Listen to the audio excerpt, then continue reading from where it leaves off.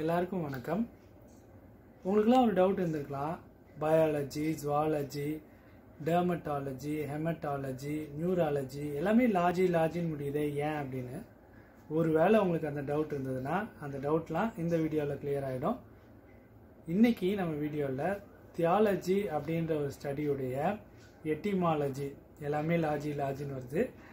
அதை பற்றி தான் பார்க்க போகிறோம் வாங்க வீடியோக்குள்ளே போகலாம் க்ரீக் வந்து ரொம்ப பழமையான ஒரு லாங்குவேஜ் தமிழ் மொழி மாதிரி அதுலேயும் வந்து பல அற்புதமான சிறப்பு அம்சங்கள்லாம் உள்ளது.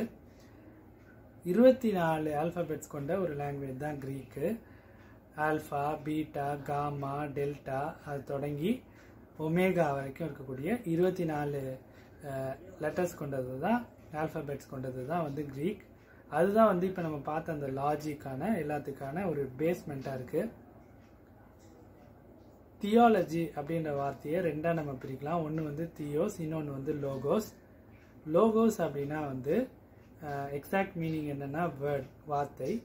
அது வந்து நம்மளுடைய புரிதலுக்காக நம்ம எப்படி எடுத்துக்கலாம்னா ஸ்டடி ஆஃப் பயாலஜி பார்த்தீங்கன்னா பயோனா plants study of plants is known as biology குழந்தைங்களெல்லாம் கேட்டிங்கன்னா எங்கே போயிட்டு வந்தீங்க அப்படின்னா ஜூக்கு போயிட்டு வந்தோம் அப்படின்வாங்க study of animals and organs is known as zoology அதே போல் ரத்தம் சம்மந்தமாக படிக்கக்கூடியது ஹெமட்டாலஜி ஸ்கின் சம்மந்தமாக படிக்கக்கூடியது டெர்மட்டாலஜி நரம்பு சம்மந்தமாக படிக்கக்கூடியது நரம்பியல் நியூராலஜி இப்படி சொல்லிட்டே போகலாம் இன்றைக்கி நம்ம பார்த்துருக்க வார்த்தை வந்து theology theos plus logos is equal to theology தியோஸ்னா God லோகோஸ்னா study of study of god is known as theology இந்தியாவில் வந்து பலதரப்பட்ட ரிலீஜியன்ஸ் இருக்குது ஒரு இந்து சகோதரர் அந்த கடவுளை பற்றி நம்ம படிக்கிறாங்கன்னா அவங்க படிக்கிறாங்கன்னா அது வந்து ஹிந்து தியாலஜி இஸ்லாம் சகோதரர் படிக்கிறாருன்னா அது வந்து முஸ்லீம் தியாலஜி புத்திசம் சம்மந்தமாக படிக்கிறாங்கன்னா அது வந்து புத்திஸ்ட் தியாலஜி கிறிஸ்தவர்கள் அந்த இறையியல் அப்படின்றாங்க. அது படிக்கிறாங்கன்னா கிறிஸ்டியன் தியாலஜி அதுலேயே கிறிஸ்துவை பற்றி படிக்கக்கூடியது வந்து கிறிஸ்டாலஜி. இப்படி சொல்லிட்டே போகலாம் ஏற்கனவே சொன்னது போல் தியாலஜியுடைய எட்டிமாலஜி அப்படின்னா எட்டிமாலஜி அதுலேயும் லாஜி வருது.